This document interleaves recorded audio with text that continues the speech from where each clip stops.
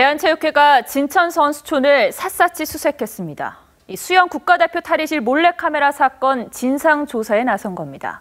예, 그런데 이미 어제 경찰이 수색한 뒤였습니다. 이호진 기자입니다. 충북 진천 국가대표 선수촌. 보안업체 직원들이 고성능 탐지기로 몰래카메라를 수색합니다. 그래서 요- 요런 데 사이 공간에 껴놓고 뭐 지금 현재 여기 가- 동료가 어떤 식으로 옷을 벗고 해도 사실 눈속임할 수 있는 충분한 여자 선수 탈의실 몰래카메라 사건의 파문이 확산되자 대한체육회가 점검에 나선 겁니다. 몰래카메라 설치 장소로 지목된 진천 선수촌 수영장 여자 탈의실입니다. 이런 옷바구니나 옷장 속에 몰래카메라가 주로 설치됩니다.